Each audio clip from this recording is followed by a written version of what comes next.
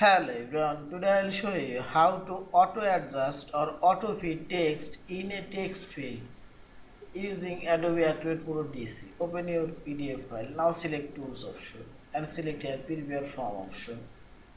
First I will draw a text box. Click on this text box option and draw a text box.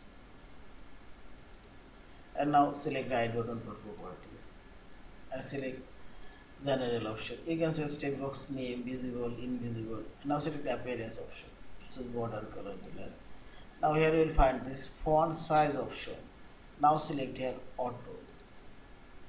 And select close. And preview and type new text.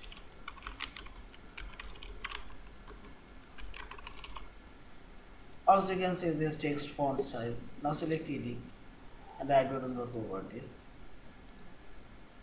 14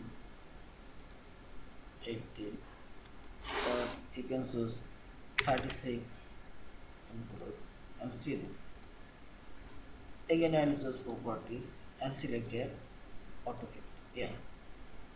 And close. Thank you for watching. Please subscribe like share and comments